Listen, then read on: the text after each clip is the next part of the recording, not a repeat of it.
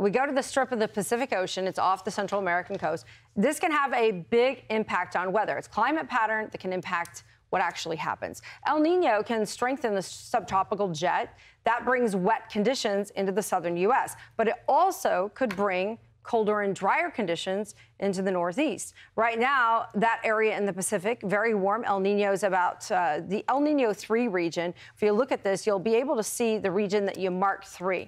Um, right there, that is a degree and a half warmer than average, and that's considered moving into a strong El Nino. There are signs that it stays that way right through the winter. How does that give us a boost? Uh, Stephen, when you look at this, and we could be going into what they call super El Nino, I feel like the El Ninos are all becoming super at this point. Yeah. But um, how does this play out for us in the Northeast? And, and you look at the bigger pattern of a super El Nino. I'll hit it off here. It's complicated. Right. What we what we deal with with this overall evolution. I mean, we look at what's going on in the equatorial Pacific, and it's like, okay, what's going to happen in say the Northeast? Or in the southern tier. There are other oscillations uh, around the globe too. We've got the Arctic oscillation and others in the Pacific and in the Atlantic both. The AO is a big dictator of, of where we deal with the coldest of, of the air. That will, will provide a big response to how cool will it get and, and more or less focusing on the polar jet. But there's something that's interesting that's occurring known as a westerly wind burst. When we look and focus more so in the equatorial Pacific again,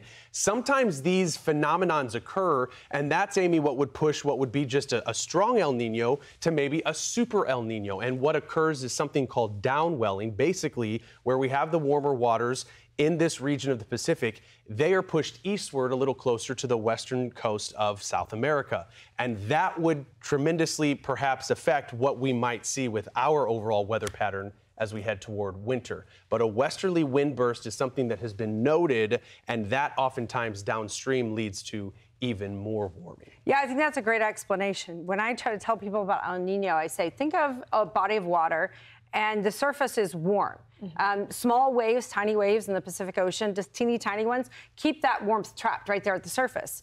And if you jump into a body of water, you feel the warmth at the surface, and then you go deeper down, it gets colder. That's a simple explanation of El Nino, what's happening there, but it's a large pattern. So if you mm. get a westerly wind there that's helping to keep that all stable and maybe push um, some of that heat further down, that could strengthen the impacts that we see. So what they're looking for to get into the super El Nino definity, like the definition here, is you want to get into two degrees above the average sea surface temperature, and that's when it would be considered uh, the super El Nino. Wow, this is pretty incredible. This came from NASA's Flight Center, um, where they're tracking and this these was, temperatures. This was one of the strongest El Ninos on record. This was back from 2015 to 2016. In fact, for, for references and for study and research, 2015 and 2016 were significant years because that's when we saw the effects of a super El Nino. And again, it was that warming right off the coast of South America. So when you start to look at this, um, this is something you could do on your own. If you take 2015 and 2016, that, that year, that winter,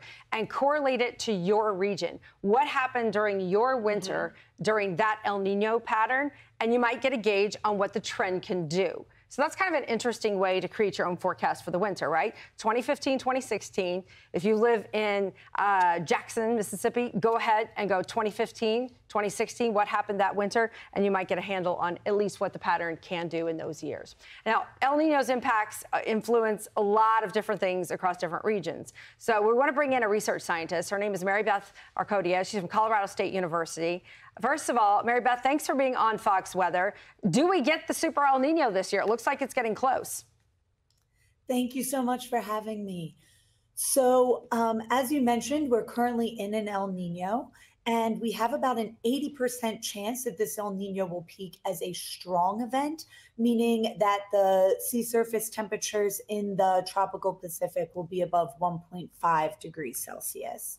Now, for this super El Nino, meaning the sea surface temperatures are above 2 degrees Celsius, we have about a 30% chance of that happening this winter. Well, it's pretty fascinating when you start to get the extremes on El Nino. Is there any new research that says when we get into a super phase of this pattern, that it will impact us differently? We're just trying to figure out what's going to go down in a El, super El Nino winter in the Northeast.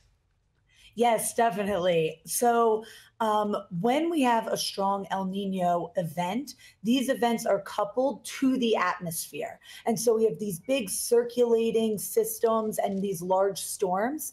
And these storms in the tropical Pacific can influence the jet stream that ultimately impacts the weather that we see in the United States. So, when we have a stronger El Nino event, those storms and circulation patterns are typically stronger, meaning that this can have a larger influence on the jet stream and a larger influence on weather in the United States. So, the global imprint from El Nino is typically stronger and more present when the El Nino event itself is stronger.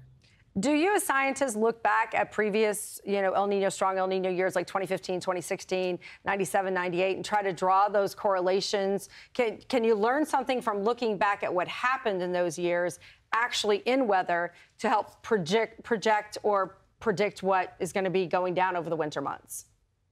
Absolutely. It's one of the largest sources of information that we have to look back in historical data and then see what the downstream effects of those El Nino events are.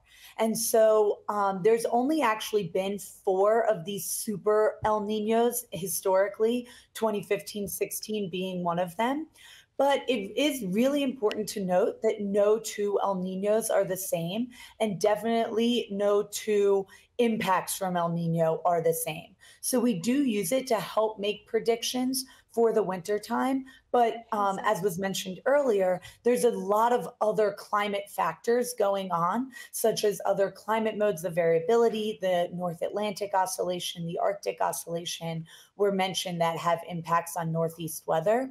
And so we try to look at a holistic view of these El Nino impacts because we can use them to help make predictions.